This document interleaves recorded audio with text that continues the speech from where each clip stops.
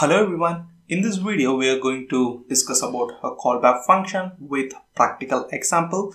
But before going to callback function, we need to understand the asynchronous process. So what is asynchronous? So just to put that in a simple word, if something takes a time to give the output, that process is called asynchronous. For example, let's assume that you are making an API call to fetch a data from another server. That definitely going to take a lot of time and that comes under asynchronous process. For example, let's say you're adding a two numbers one or three or whatever the two numbers and you're getting output in a fraction of a second because that will be taken care in the node module and that is a synchronous process. So that's a basic difference between async and sync. So this callback comes into a picture when there is an async involved in your code or function. So let's create a function to add two numbers. So let me create a function name called add num and that function accept two parameter a comma b and I'm going to return the sum of a plus b. So if I call, let me print that out in the log.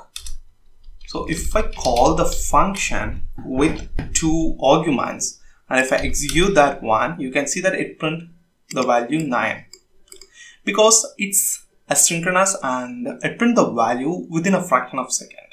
So how does this work in async process?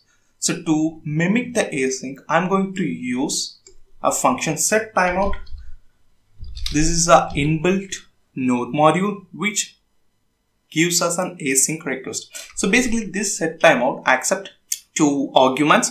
First one is a function and the second one is a number of seconds, number of milliseconds to wait until it execute the function in the first argument. So the first argument, it accepts a function. So I'm going to return a plus b. And the second argument accept the millisecond. So I want this function to return the sum after 2 seconds. So it accepts a millisecond. Basically 1 millisecond is equal to 1000 seconds. So that's why I have given 2000 here. So if I call the same function, you will get an undefined and the script will wait for 2 seconds because it's return the value before the script wait for 2 seconds. Because this node module assume this as async and return it.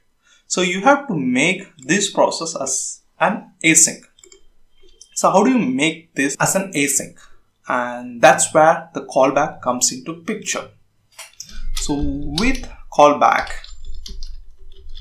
we can make this async work properly. What is the callback? So callback is a function that is passed as an argument to the caller function. So basically this is a caller function and this is a calling function.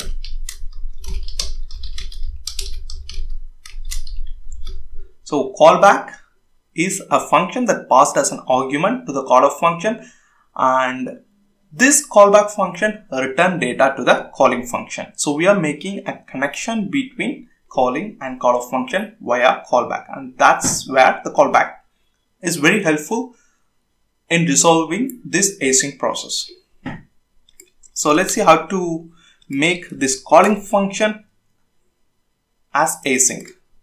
So in the calling function, we are passing two argument a comma b for 4 and 5 and here we need to implement the callback function syntax. And this callback should return the sum of a plus b. What we are going to do is we are going to get that data here. So we don't need to use a callback as well. So you can put a here uh, maybe c to make it more meaningful, not confusing with these A and B. And we are going to print the sum here. And in the callback, we no need to use a return statement and we should not use a return statement actually. We have to replace the return statement with the function name and the number of arguments that you're going to pass to this callback. In this callback, I'm going to pass only one argument that's the sum of a plus b. And this callback get triggered only after 2 seconds. And when it trigger, it passed the sum of a plus b to this calling function and this calling function will print the value after this set timeout complete the 2 seconds. So if we execute the code and see, you can see it wait for 2 seconds and then this callback pass the sum of a plus b to the calling function and that print it here. So this is how the callback work and just because it's a callback you no need to define this as a callback you can define anything as you want let's say add nums so it will still work. So it is not necessary that you should use a callback as a name. So it's just a function that you're passing as an argument to the caller function. I know this is quite confusing and looks little complex. Once you follow all the upcoming videos you will get familiar with that. So that's it for this video. If you like this video give thumbs up and don't forget to subscribe to my channel. Thank you. Bye bye